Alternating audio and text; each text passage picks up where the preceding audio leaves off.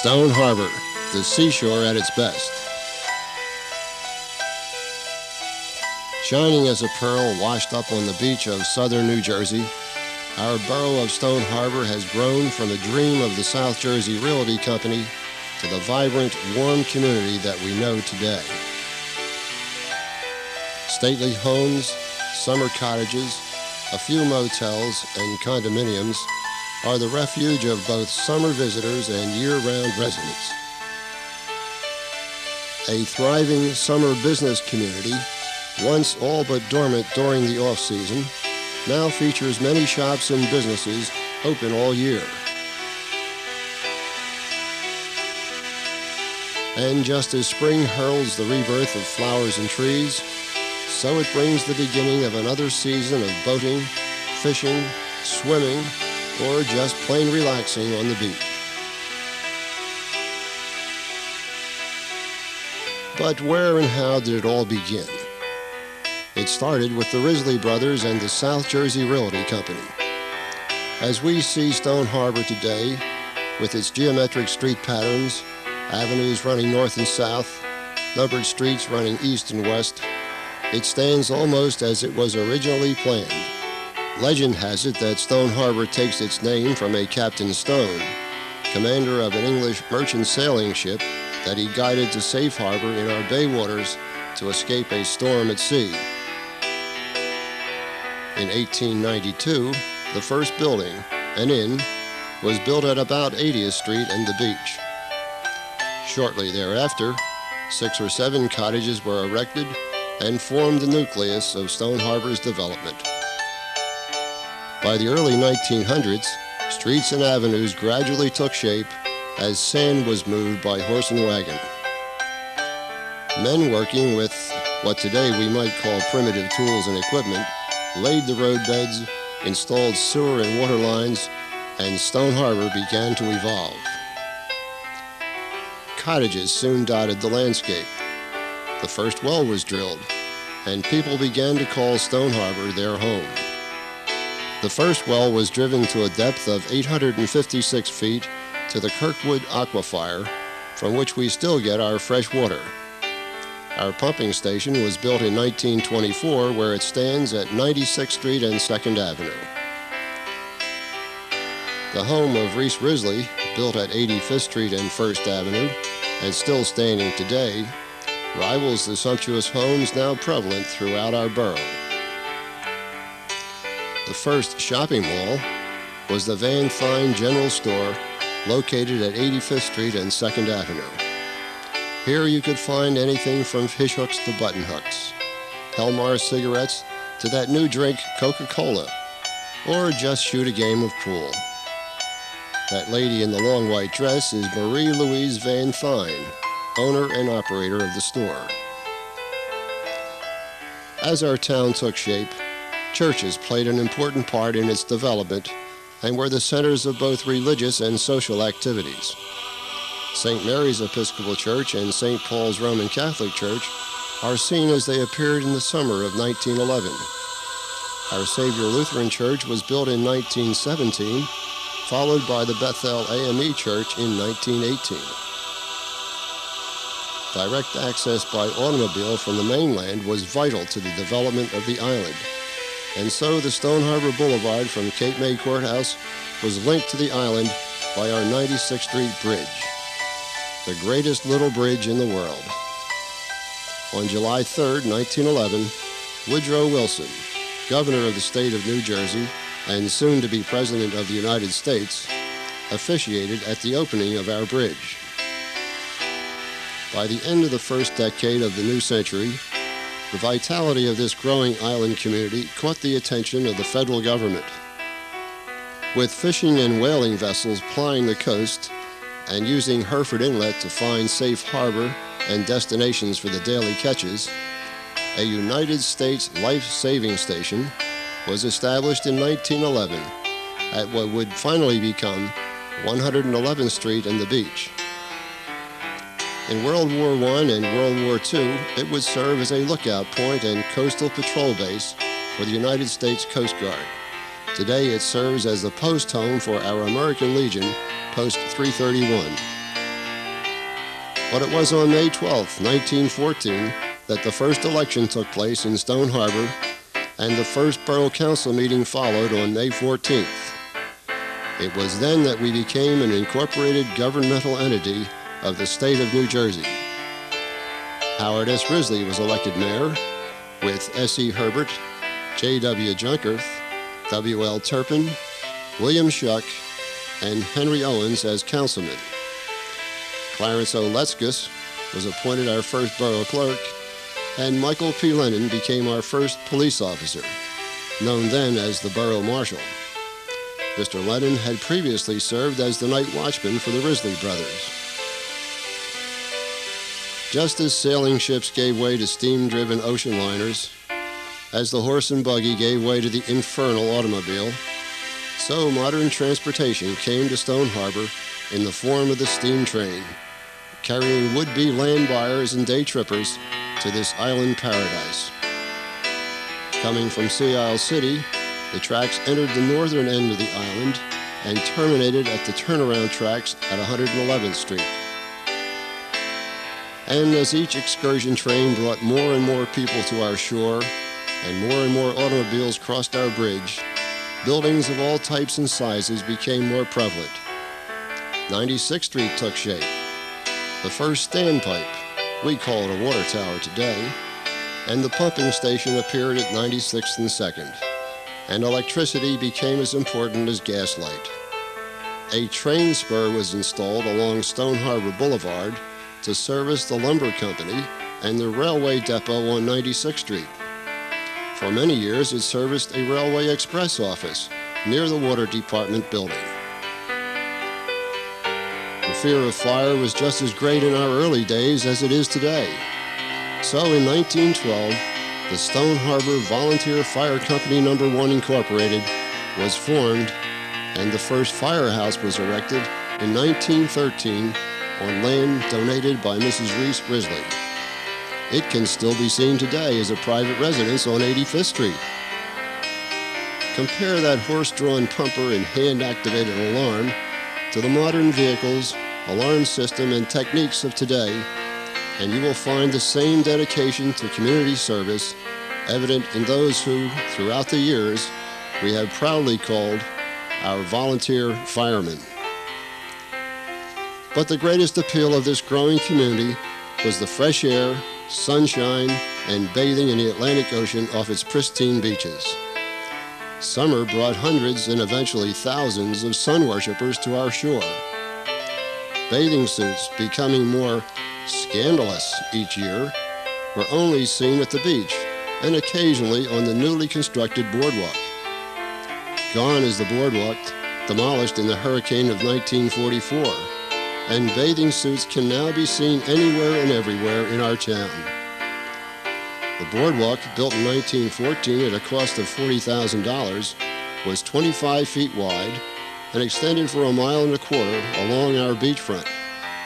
A fishing pier extended into the ocean at its southern terminus at 106th Street. We can name only a few in this picture. Maybe you can name some more. That's little Janie Letzkus, now known as our historian, Jane Scott. Jane's mother, Mrs. Gladys Letzkus, and the wife of our first borough clerk, Dutch Letzkus. And that's Jane's aunt, Mrs. Mabel Potter, better known to many of us as Aunt Mabel, or even from our spring fling days as Dolly. A dip in the ocean is always a safe respite from those hot summer days for we enjoy a long, gradually sloping sand terrain extending into the ocean. But there were and are those foolhardy folks who venture too far from the beach for safety. And so the Stone Harbor Beach Patrol became a necessity for our safety. In 1912, the first guard was assigned to the beach at 94th Street. The first Beach Patrol headquarters and emergency hospital was built at 96th Street.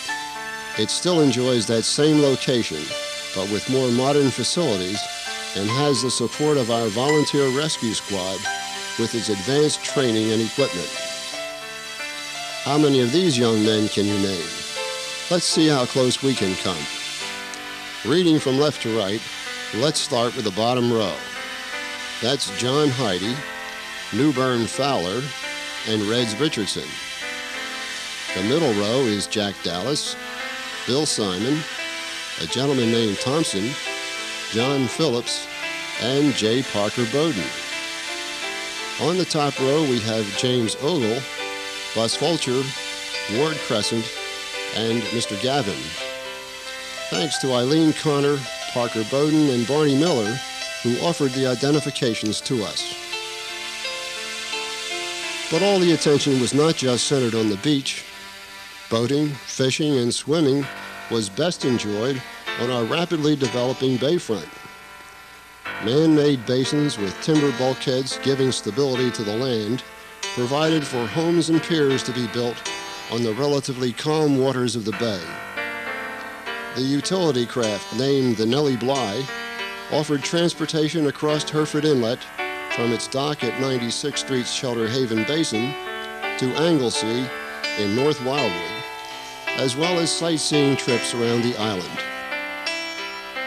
In 1911, the Yacht Club of Stone Harbor was constructed on the bay at Sunset Drive just off 89th Street. A haven for boaters, it would soon become known as the home of the Comet and carries that distinction today as Comet Fleet Number One. Water sports and social activities prevailed then, as they do today. This year, the club will host the International Comet Races with boat skippers from all over the world. Predating by one year the incorporation of our borough is the founding of the Stone Harbor Women's Civic Club. Dedicated to community service, the ladies of the club have contributed to the cultural development and physical well-being of our residents since its inception. Working with the Red Cross, its service to the war efforts of both World Wars I and II were evident in the preparation of bandages, first aid packets, and letters and packages to our boys in the service. Fundraisers conducted by the club today provide donations to many worthy causes in our community and county. As our town developed and 96th Street became its hub, commercial establishments were erected on once barren land. The Hotel Duval, that housed our first telephone exchange, was built on 3rd Avenue between 94th and 95th Streets. Our municipal building was built on 94th Street and eventually would be converted to the Stone Harbor School. The Redu Drugstore was established at 95th Street and 3rd Avenue, and Troxel's Ice Cream Parlor tempted us at 96th Street near 2nd Avenue. The American Store opened at 96th Street and 3rd, joining with Leon's Meats and Fred's Tavern. Commercial activity gave rise to the formation of the Stone Harbor Chamber of Commerce. First known as the Board of Trade, the chamber was formed by a handful of men in February of 1940. From its beginning with 14 members, it has grown to over 240 members and has expanded its concern from just the business community to the well-being of our total borough. But let's put our town into motion as friends of Stone Harbor share with us films of the past. Some of the films that we will see are pictures of families and friends. You may want to look beyond the people on the screen to see scenes of the earlier days of Stone Harbor. The first sequence is a vacation in Stone Harbor in 1935, contributed by Jerry Gilbert of Camp Hill, Pennsylvania.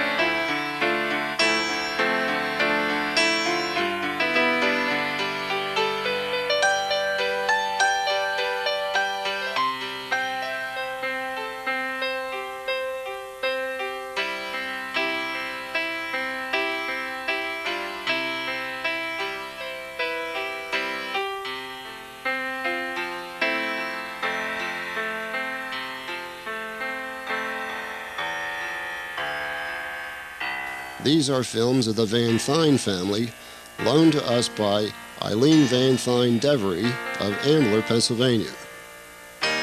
Here was our yacht club building in 1936. And in 1936, this was St. Paul's Roman Catholic Church and School. Yes, we had a Catholic grade school for several years.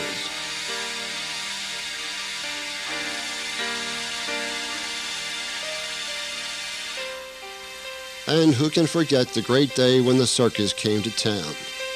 In 1936, the main tent was set up on vacant ground between 85th and 88th Streets.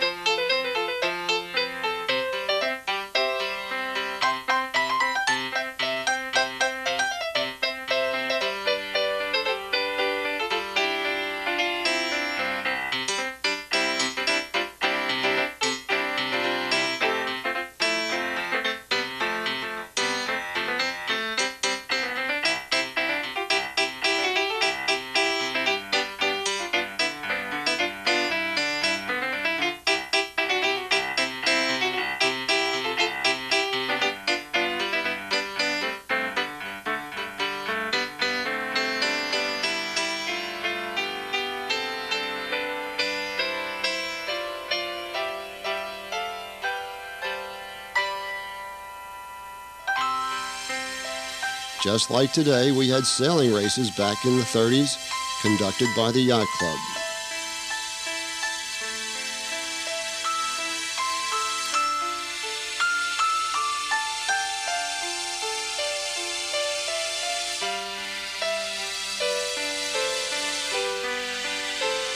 Our waterworks building, still preserved today and now being rehabilitated.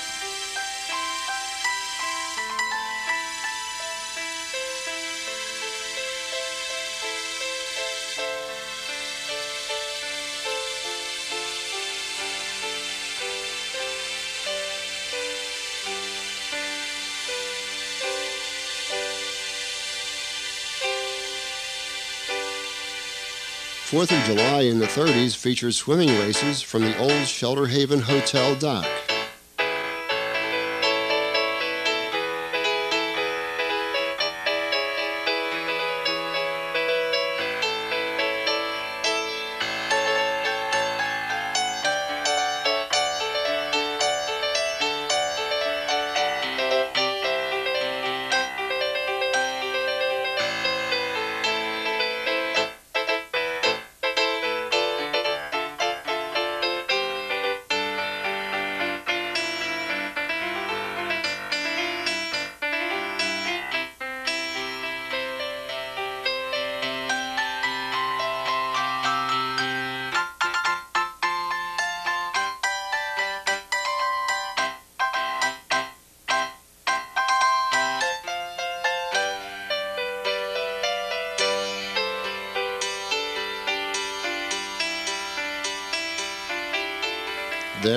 Background, you can see our former boardwalk. If it was too hot on the beach, you could always find a cool spot underneath it. But then it happened the destructive hurricane of 1944.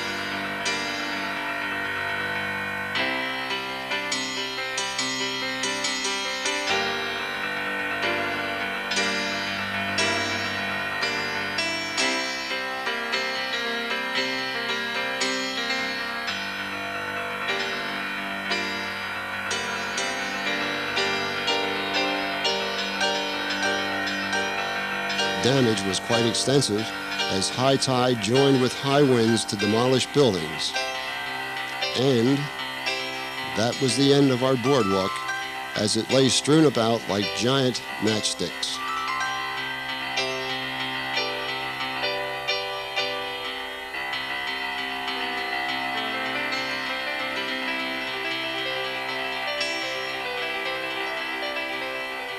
How many of you remember the annual speedboat races on the bay? Competitors came from great distances to win trophies and prize money.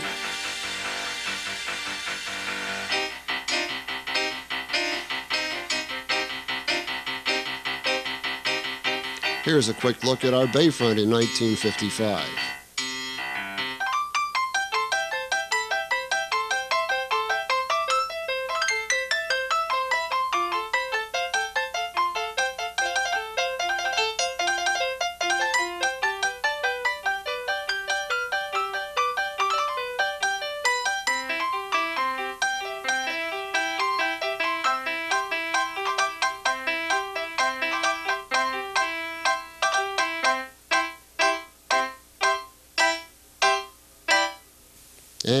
Winter even came to Stone Harbor in 1958, as we see in these scenes.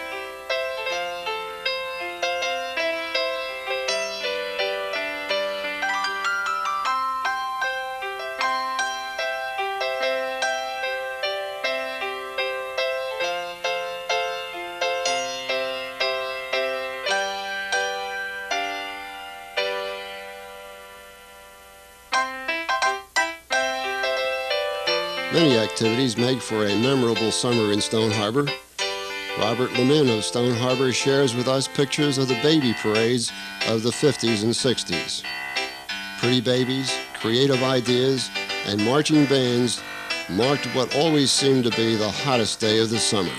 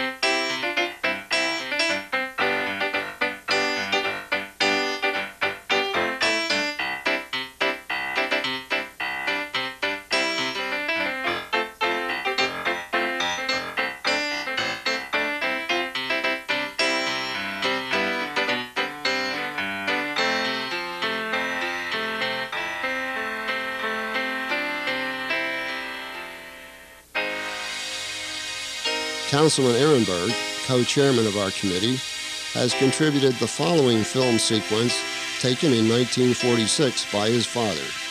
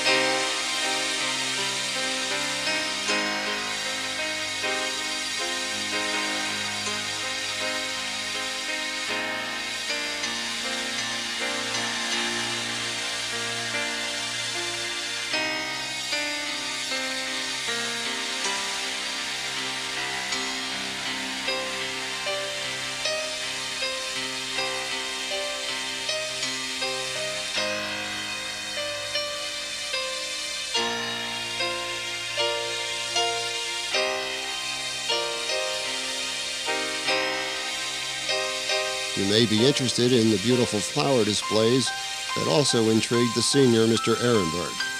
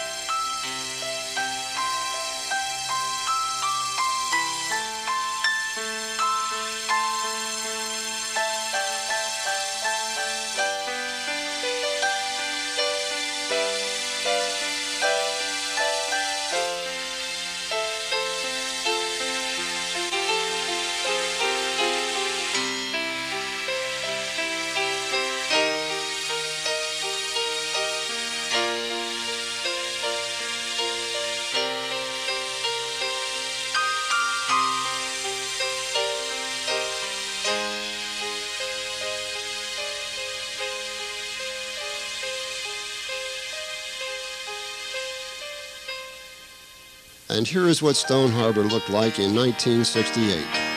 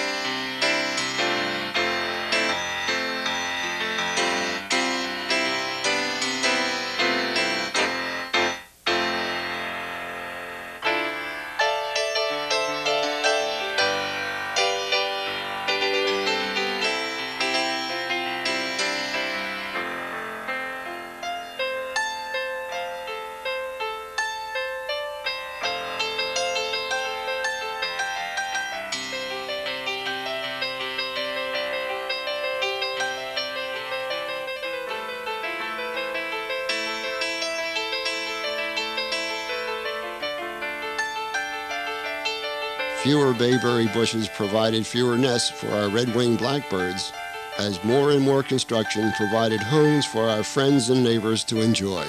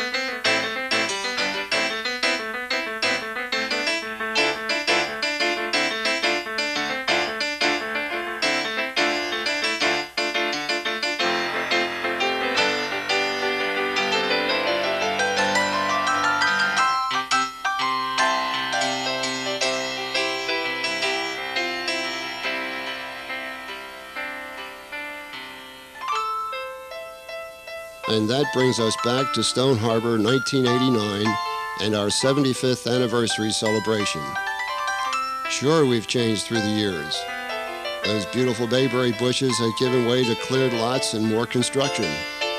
Smaller cottages are being dwarfed by expansive two-story homes. Horse-drawn carts have given way to modern automobiles. The train has disappeared, replaced by superhighways and more and more people share this peaceful island. But through all the changes, we remain essentially the same. We are still a residential community with families enjoying the beauty and recreation of our seashore and bays. People sharing the comradeship of good neighbors and friends. A community reveling in its past and vitally concerned with its future. As we celebrate the 75th year of our incorporation as a borough of the state of New Jersey, let us rededicate ourselves to maintaining the quality of our community, the concern of our people for its future, and the pride in our past and all that it has meant to each of us. Let's keep forever Stone Harbor, the seashore at its best.